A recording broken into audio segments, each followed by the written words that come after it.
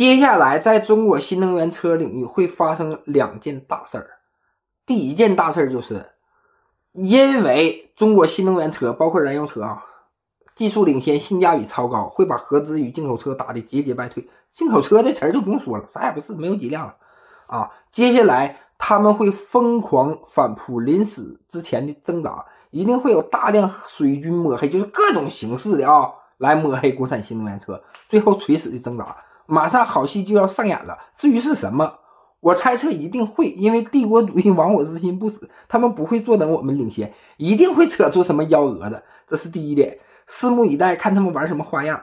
第二点，打不过就加入，就是你看啊，这个大众用的谁技术很多是国内的，都对不对？之前收购小鹏的，包括用的咱们这个啊很多的这个智能这个技术啊，都是用的咱们啊，丰田跟比亚迪合作了。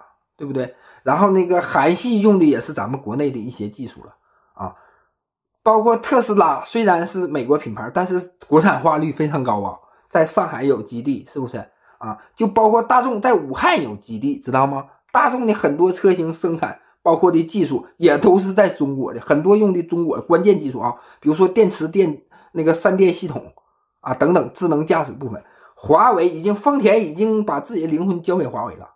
这个都知道吧？完了，奥迪呀，什么大众什么，很多都都用华为的，采用华为的智能那个自驾系统方案了。